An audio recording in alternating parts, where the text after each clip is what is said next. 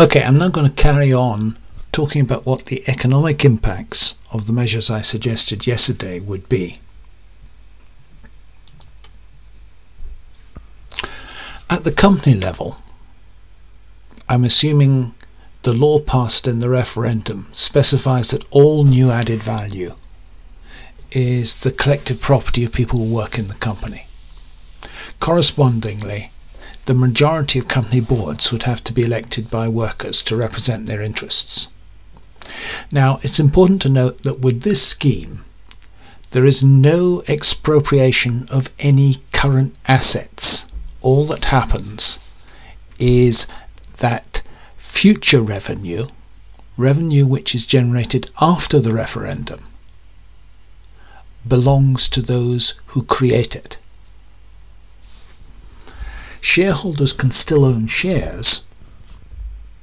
They're not expropriated. But the value of these shares will fall greatly because likely dividends are not going to be very great. They'll only get dividends if the employees choose to give them dividends. Ideologically, the whole thing is presented as an assertion of natural rights. We who create the value should have it belonging to us. Well, what's going to be the effect on the stock market of the fact that dividends are going to disappear? Well, obviously, there'll be a big depreciation in share values. There would no doubt be an attempt at capital flight from the country, but this will be relatively small in total quantity, considerably less than the total initial valuation of the share capital within the country. Why is that?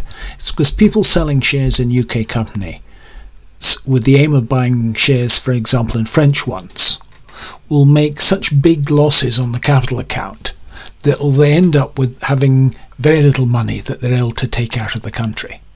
It'll all appear as capital losses on their on the accounts of those who hold the shares. There's not going to be any impact on real capital stock all plant and equipment is still there. Nor is there even any impact on the money capital of, of firms. The cash balances of firms aren't altered. So they're still in a position to meet their bills and continue trading. Under the new management, obviously. What about future investment? Well, the firms which are now mutuals will depend primarily on internal savings that portion of their bonuses which the workers voluntarily forego to fund new investment. Additional sources of funding might come from a restructured non-profit making banking sector, investment grants and loans from the state. Um, this additional funding would in time come to be allocated in accordance with the social plan. And this provision of additional funding for investment would be one of the levers by which a planned economy could gradually be introduced. Now, obviously, an important factor in judging whether you could politically get away with abolishing exploitation is the effect it would have on pensions since pensions constitute a lar- pensioners constitute a large group of non-workers who are currently paid out of various forms of surplus. And there would undoubtedly be a, a lot of scaremongering to the effect that if exploitation was abolished, your pensions will be threatened, and therefore you should vote against it. So since the viability of pension schemes would be threatened, there would have to be, within the Act abolishing exploitation, provision for the state to rescue all unviable pension schemes and to guarantee that all existing occupational pensions will still be paid in full. Now, you may ask, would this not pose an excessive cost to the exchequer? I, am going to show, on the contrary, it can easily be afforded. Now what I'm giving you here is some calculations.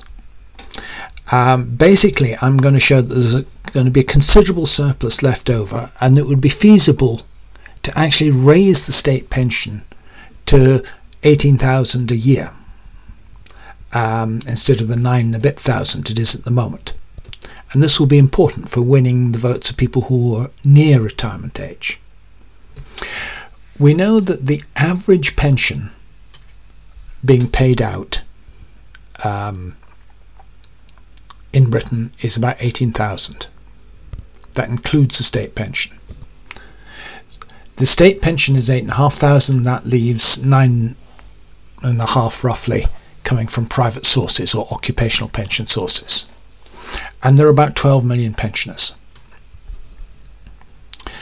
Now, that implies that there is about 113 billion currently being paid out by occupational and private pension schemes at the moment.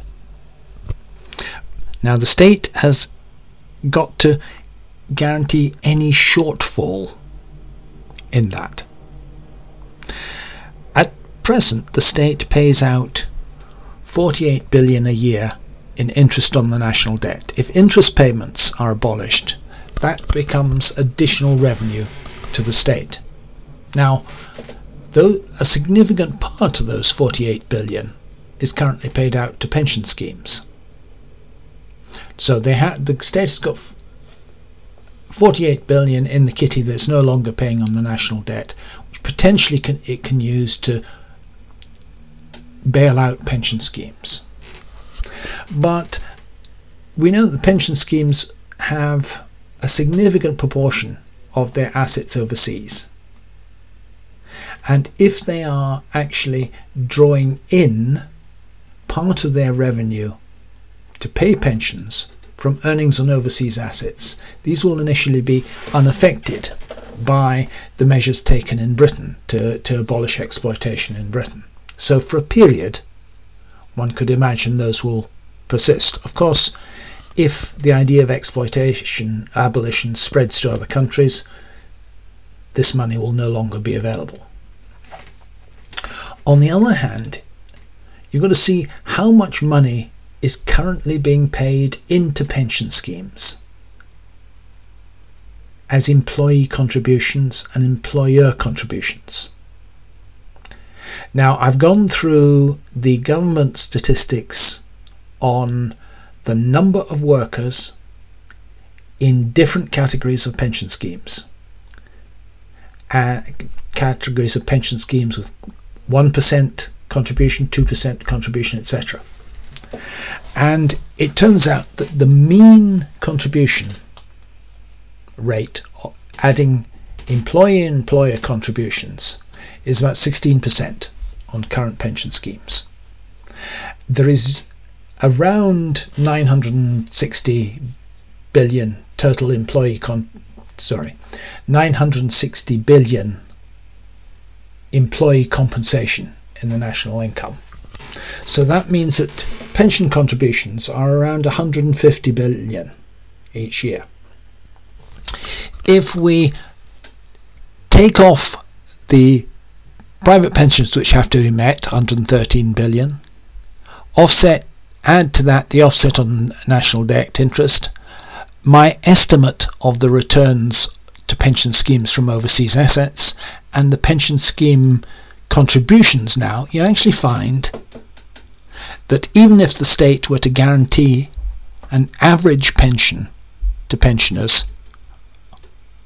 of 18,000, there would be a surplus of 115 billion.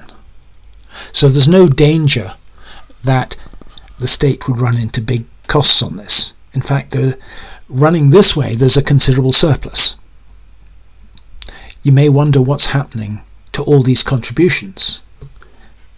If at the moment pension schemes have a contribution rate of 151 billion, are only paying out 113 billion, where's the rest going? Well, it comes down to the horrendous inefficiency and rip-off character of the City of London a large part of people's pension contributions end up being pocketed by the financial institutions and going out as bonuses to, to bankers, etc. All that gets cut out. Now, another factor is transnational firms. What are they going to do if they're no longer allowed to exploit people in Britain? Well, obviously they can no longer they can't export their physical capital because a system of export licenses on physical capital could prevent that.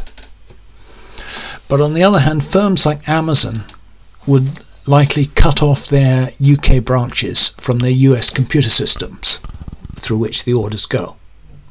But that's not going to be a serious effect on the economy as a whole, because the likely effect is to help local high street retail trade and local internet uh, firms and deliveries. Clearly, there will be a halt to inward capital investment. There's no no getting away from that, and there will be depreciation in the pound. But as I said in my first lecture, that's one of the things that a socialist government should be aiming for. Now let's turn to something which I haven't mentioned so far, which is aristocratic landed property. If you go back to the foundation of the Labour Party with Keir Hardie, getting rid of landlordism, getting rid of the monopoly of land held by the aristocracy was set as one of the goals of the party. And if you ask which class in society is least loved, it's clearly going to be the old landed aristocracy. There are around 1,200 old aristocrats in Britain who still own a third of all the land.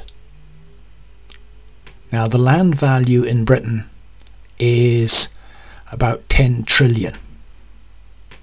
So these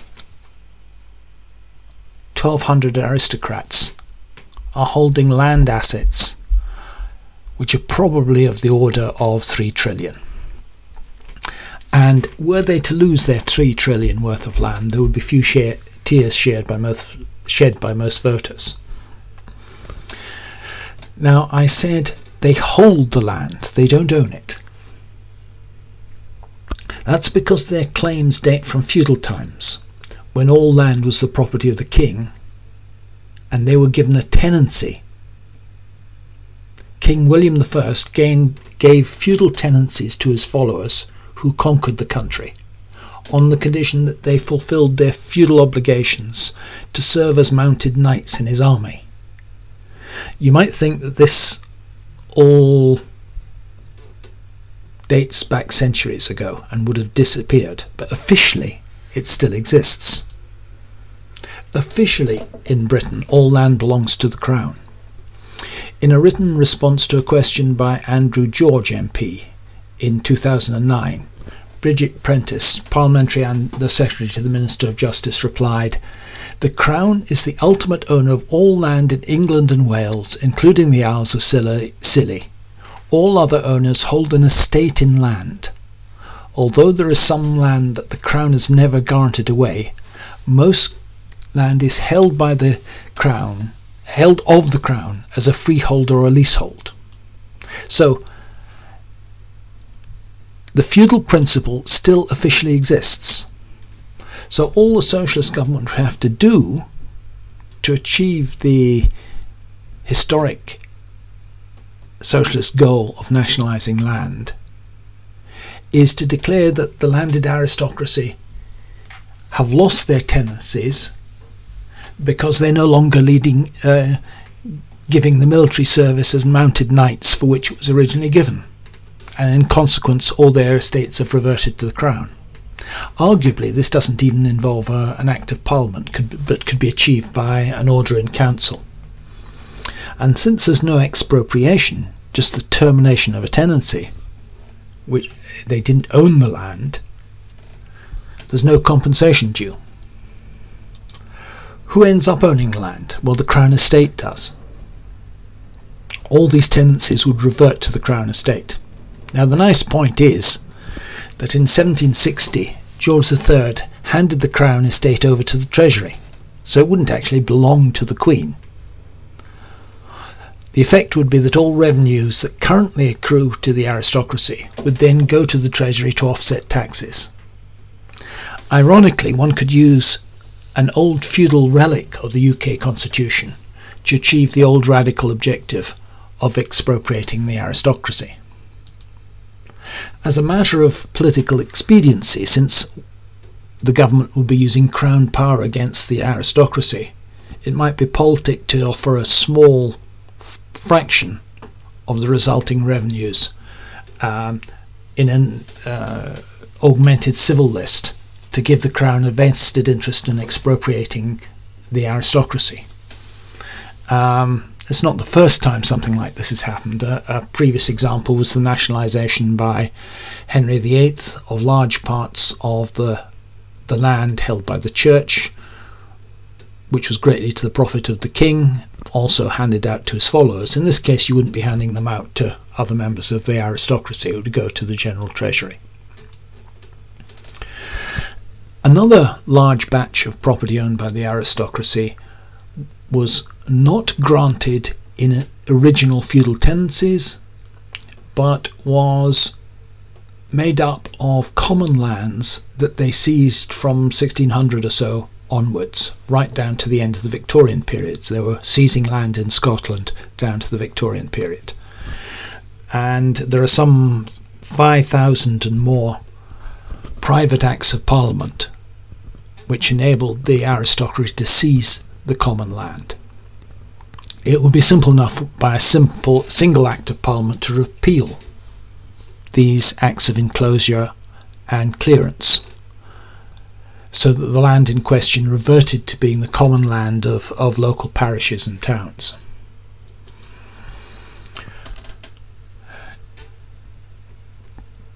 Current value of land in Britain is about 10 trillion.